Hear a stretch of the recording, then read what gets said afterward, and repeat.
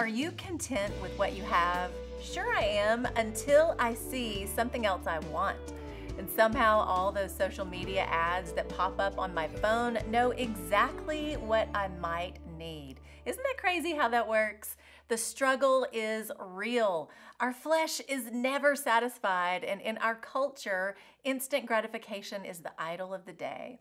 With one click, I can buy now and have just about whatever I want at my door within 24 hours. Can we be content with what we have?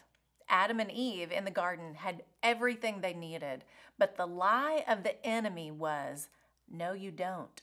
There is more wanting more or wanting what someone else has or what you don't have is nothing new. There is nothing new under the sun. King Solomon, in all his wisdom, recognized that. That's why in Exodus 20:17, God commands, "Thou shalt not covet." Since the garden, we have wanted more. When we covet, when we lust, when we desire and long for what we do not have, our hearts go down a dark road seeking self satisfaction that never fully satisfies.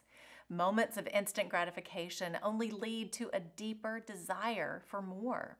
The root of it all comes back to the lies we believe God isn't enough. I need more. The writer of Hebrews speaks to this. Hebrews 13 5. Keep your lives free from the love of money and be content with what you have because God has said, Never will I leave you, never will I forsake you. Let your walk, your talk, and your life be free from wanting more or desiring what someone else has. The love of money is the root of all evil, we read in 1 Timothy 6:10. It's never the things, it's the desire and the love of all the things and never being satisfied.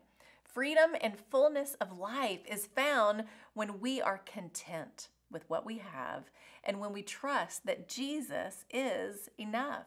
I am secure knowing Jesus will never leave me or forsake me. As I was thinking about that security, I began to think about my childhood. Growing up, we didn't have much, but you know what? I didn't know it. I was cared for, clothed, fed, and loved deeply. I lacked nothing that mattered. And how does Jesus want us to come to Him? As a child, fully secure in who we are in Him, trusting He is all we need.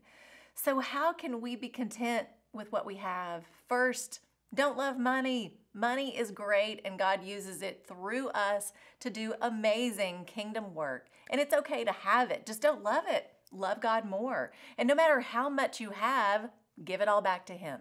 Second, trust Jesus to be enough. He said he will never leave you or forsake you, and he has never not fulfilled a promise.